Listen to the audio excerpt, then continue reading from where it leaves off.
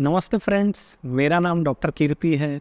मैं एक sexual disorder specialist हूँ, साथ ही साथ एक साइकेट्रिस्ट हूँ। आज हम डिस्कस करेंगे कि सेक्स का नॉर्मल टाइम कितना रहता है। तो दोस्तों, ज़्यादातर मर्द दुखी इसलिए होते हैं कि उनका सेक्स टाइम बहुत कम रहता है। लेकिन सबसे मेजर इशू ये बात होती है कि उनको पता ही नहीं है कि सेक्स का नॉर्मल टाइम क्या है। बहुत सारे देशों में एक रिसर्च हुआ था, जहाँ पर बहुत सारे कंट्रीज़ के मर्दों को लिया गया था। और उनका एवरेज सेक्स का रेंज क्या था? तो रेंज होता है कितने से कितने समय तक सेक्स कर सकते हो और एवरेज निकाला गया। तो वो हुआ दो मिनट से लेकर दस मिनट के बीच। दूसरा चीज़ है कि एवरेज सेक्स टाइम क्या है? तो एवरेज सेक्स टाइम पाया गया है पाँच दशमलव चार मिनट, जो कि फाइव पॉइंट फोर मिनट्स है। और ये सिर्फ़ भारत का एवरेज नहीं है, पूरा दुनिया भर में जितने सारे मर्द लोग हैं उन सबको लेकर ये चीज़ बनाया गया। अब हमारा जो टाइमिंग रहता है, कब उसे शीघ्र पतन बोला जाता है? तो देखिए, शीघ्र पतन अमेरिकन एसोसिएशन जो ऑफ़ साइकेट्री है, उन लोगों ने निर्धारित किया है कि अगर एक मिनट से कम आपका लिंग को योनि में प्रवेश करने के बाद का टाइमिंग के अंदर सेक्स ख़त्म हो जाता है या फिर डिस्चार्ज हो के इरेक्शन डाउन हो जाता है, तभी जाकर उसे प्री मैच्योर इजैकुलेशन या शीघ्र पतन बोला जाता है।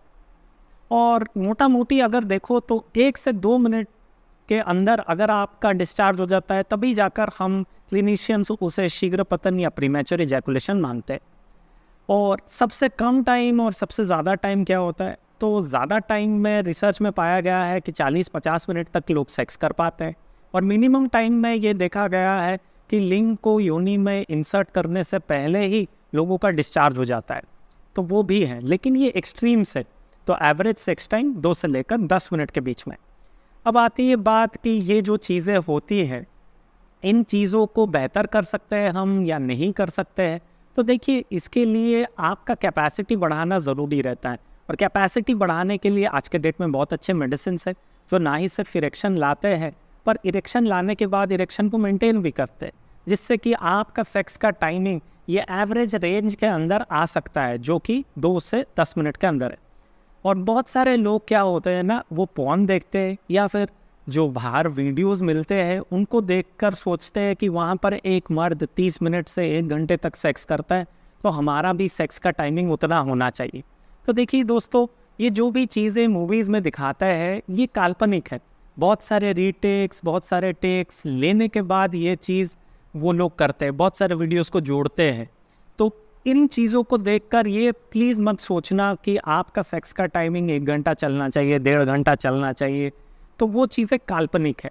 तो तीन चीज़ें हमेशा याद रखनी है कि सेक्स का नॉर्मल टाइम का रेंज होता है दो से लेकर दस मिनट और एवरेज सेक्स टाइम क्या माना जाता है? वो है पाँच दशमलव चार या फिर फाइव पॉइंट फोर मिनट्स और तीसरा चीज़ है एक से दो मिनट के अंदर अगर आपका सेक्स करते हुए डिस्चार्ज हो जाता है, तब उसे प्रीमैच्योर इजैकुलेशन बोला जाता है। अब लोग हमारे पास आते हैं और पूछते हैं कि, सर, मैं कल सेक्स करने गया था और एक बार में मेरा डिस्चार्ज एक मिनट के अंदर हो गया, लेकिन उसके बाद हमेशा से सेक्स का टाइमिंग नॉर्मल रहा है पाँच मिनट के आसपास।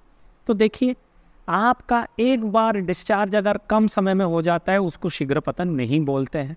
एटलीस्ट छः महीने भर लगातार होना चाहिए और 75 परसेंट टाइम्स जब आप सेक्स करते हो, उस समय पे आपका सेक्स का टाइमिंग कम होना चाहिए। तभी जाकर हम उसे शीघ्र पतन मानते हैं।